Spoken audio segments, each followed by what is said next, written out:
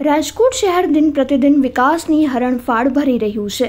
ત્યારે તહેવારોની મોસમમાં રાજકોટવાસીઓને અનેકવિધ વિકાસ પ્રકલ્પોની ભેટ અર્પિત કરવા દેશના વડાપ્રધાન નરેન્દ્ર મોદી રાજકોટના આંગણે આગામી તારીખ સત્યાવીસ જુલાઈના રોજ પધારી રહ્યા છે.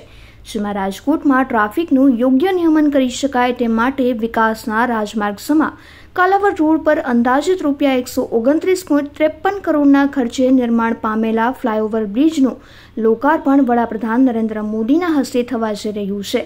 આ પહેલા બ્રિજ પર તિરંગાની કલરની લાઇટ ઝળહળી ઉઠતા એક આકર્ષણનું કેન્દ્ર બન્યું હતું.